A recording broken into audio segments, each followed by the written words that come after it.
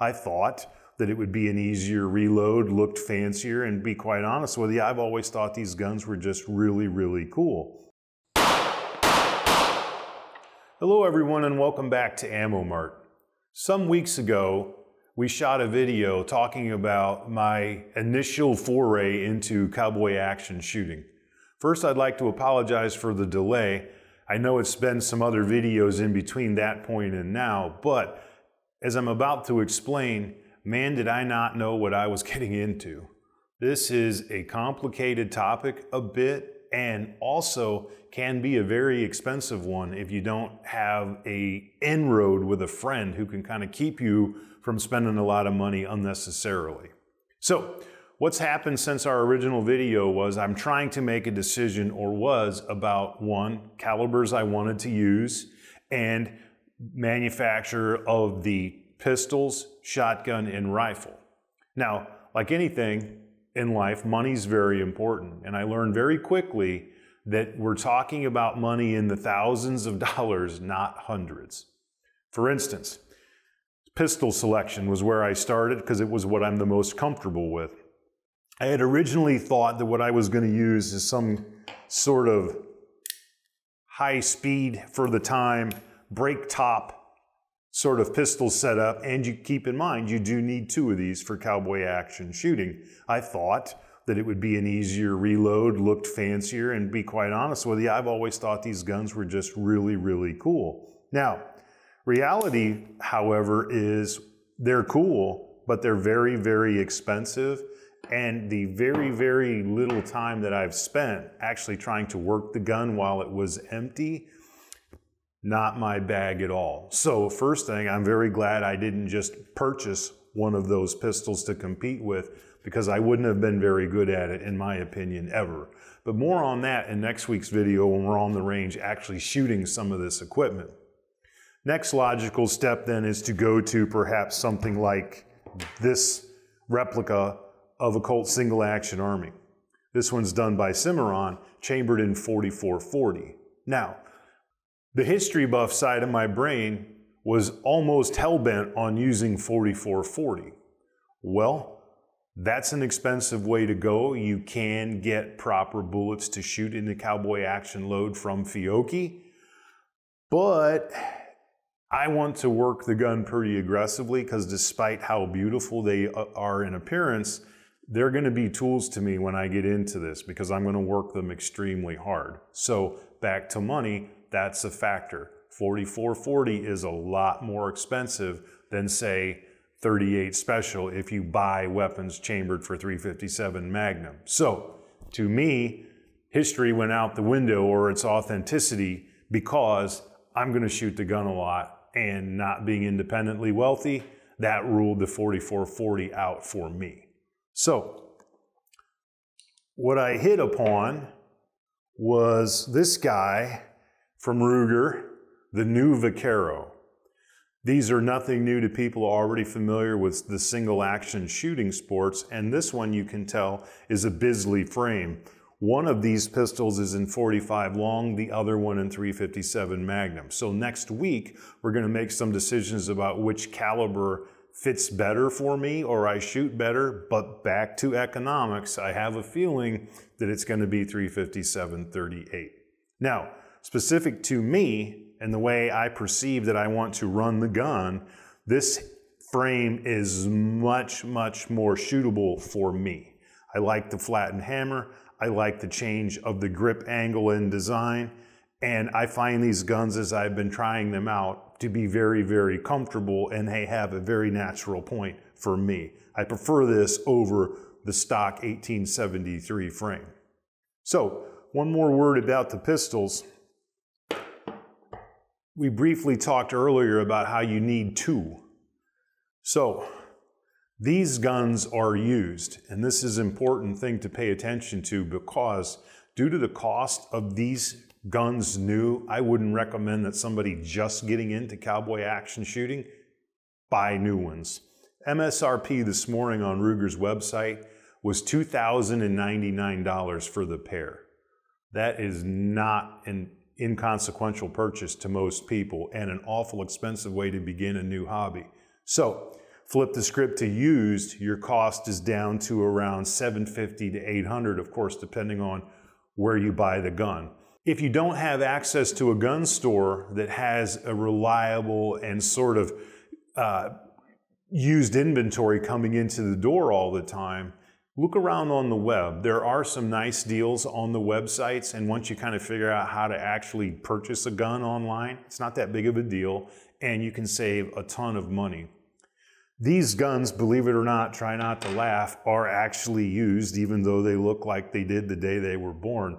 This is very common with this sort of setup. People, one, buy them for their historical sort of significance if they have any, meaning they like the look of the old school thing because they're being modern made, they're not collectible. But interestingly enough, what I've noticed from my time in gun sales these guns are rarely, rarely worked because it's inherently inconvenient to load a lot of rounds and fire a lot of rounds through a single action pistol as compared to a 20 round magazine you can go through pretty quick. So my own personal feeling is that it's an extremely safe buy used because, as you can tell, they don't get worked very hard in most cases. I'm sure it's going to be a Ruger Bisley frame Vaquero. And one of the other interesting aspects about this is with a little bit of a modification from an internal screw, I won't tell you how to do it. If you research this, most people already know this. You can actually get the cylinder to spin freely both ways.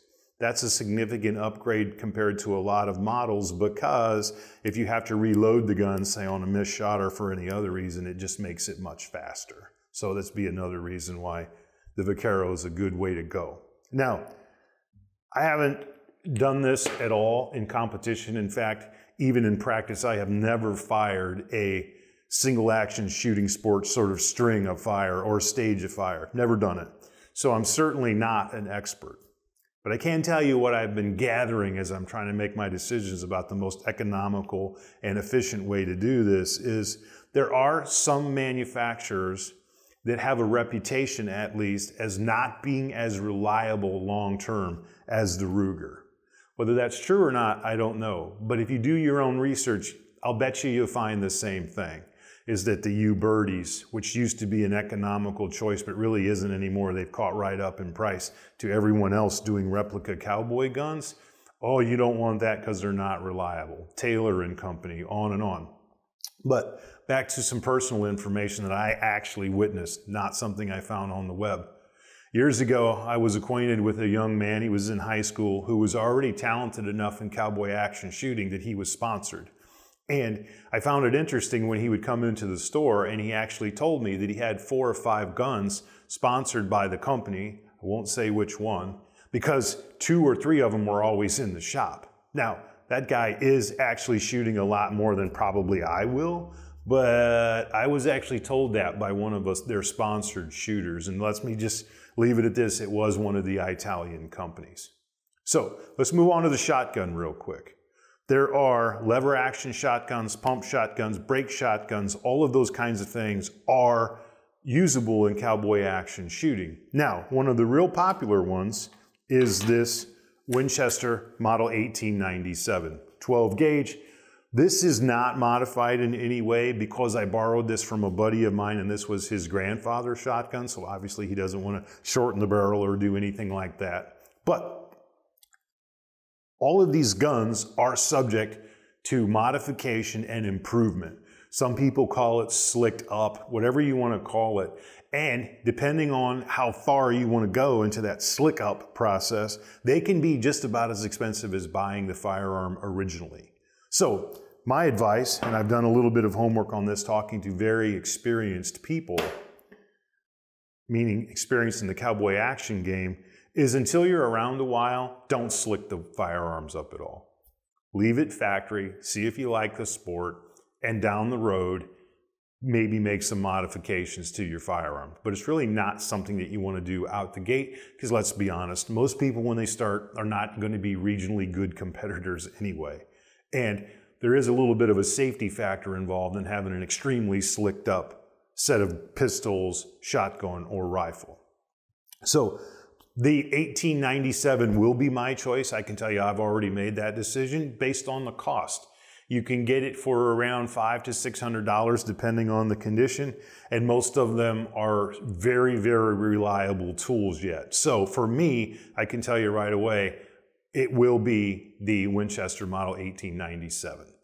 And oddly enough, most people shoot these single shot. You can see when you work the work the action on the shotgun that you're not allowed to obviously have more than one round in the magazine tube. So basically what happens is they load, fire, work the action, and load the second round, which would complete the stage. Instead of your break open, feed two shotgun shells down into your break open type of weapons, sometimes called coach guns.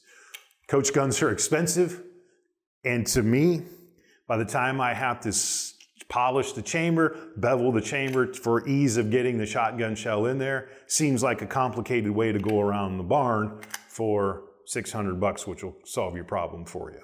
Now, to each his own, I might change my mind. As I said, I'm completely inexperienced in this game, so I might decide, hey, coach guns are the way to go, and if that's true, then I still got a cool Winchester 1897, so I'm still happy. Now, the rifle is this one here, borrowed from a friend of mine is, of course, a Winchester Model 1873 chambered in 357 Magnum. This functioning piece of art has been modified some. You'll notice that there is a short stroke lever action kit installed on the rifle, which means it doesn't have to travel as far, of course, to advance the new round into the chamber and cock the hammer. It's also got a modified rear sight. The buckhorns have been removed. And if I can get this on camera, it has a very, very large and easy to see brass bead front sight. It's all designed for quick pickup of the target. You're not shooting terribly far in lever action, or I'm sorry, in cowboy action shooting. Basically what you want to hear is fire and a, the steel going gong. Distances are quite close, so speed is everything. And I've learned this much. Transitions are hugely important based on how quickly you not only move from one position to the other on the range, but you can transition from shotgun, pistol to rifle and back and forth. So the only thing I have really come to the determination of one is I'm very blessed and that I'm going to borrow some of this equipment for the next video, finish making my decisions based on how that experience goes, obviously, but for the shotgun. So you'll notice one of the other tools we have here on the table this would not be something that you would be using for cowboy action shooting, but this guy is cool. It's from Pedersoli. It's called a Howdah.